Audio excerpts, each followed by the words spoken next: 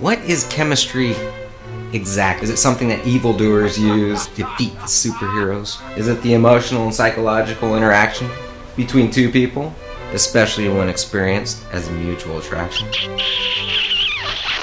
Uh huh. Uh huh. All I know is that you can do some pretty cool things with chemistry. Chemistry is used every day in our lives. But learning it's a whole different story. Especially in school. I mean, big books, tiny print, not a whole lot of pictures. I like pictures. It can even hold us back from reaching our ultimate goals. Or a degree.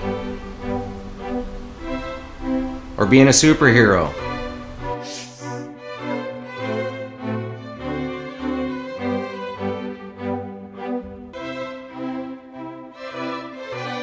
Now, as I said before, we have many topics to help you on your journey.